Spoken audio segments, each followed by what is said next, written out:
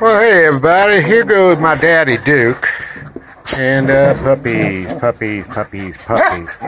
So someone asked the other day, they're like, uh, I want a puppy with a golden face.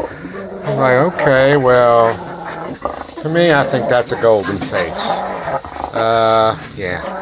And we've got a few puppies like that.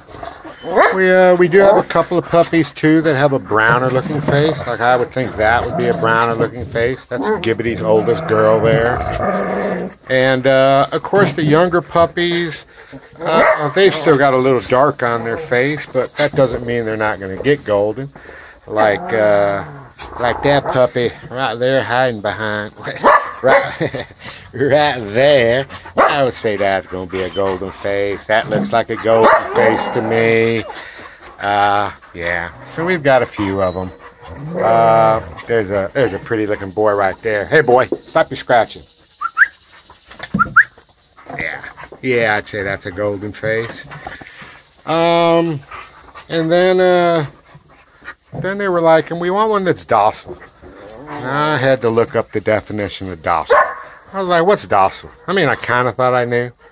But uh, I was surprised to see that it said uh, submissive as one of the main definitions. So I was like, well, heck, that's kind of kind of what we train our dogs to be is submissive to us. Uh, Daddy Duke, that's a good potty, Duke. Thank you. My dogs go.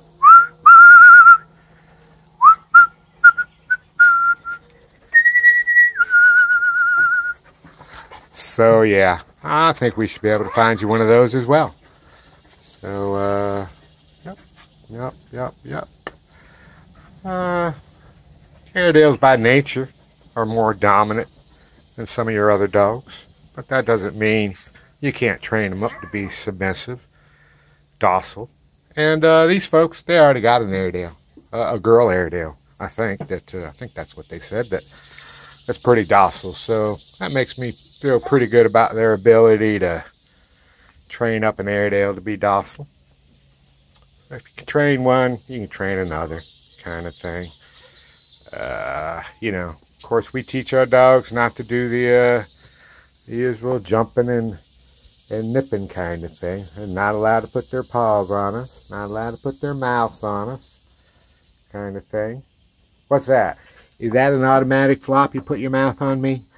Like, you know it is, boss.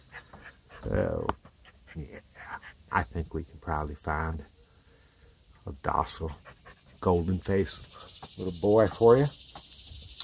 Uh, we've got a few boys. I'm going to be focusing on the boys here in a little bit. And, uh, who's been out running in the weeds? Can you tell me that, little boy? Huh? Who? Who's been out running in the weeds? You?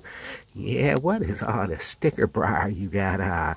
Yeah, brown nose. What's that? Look at all that Somebody's been digging a hole, have they?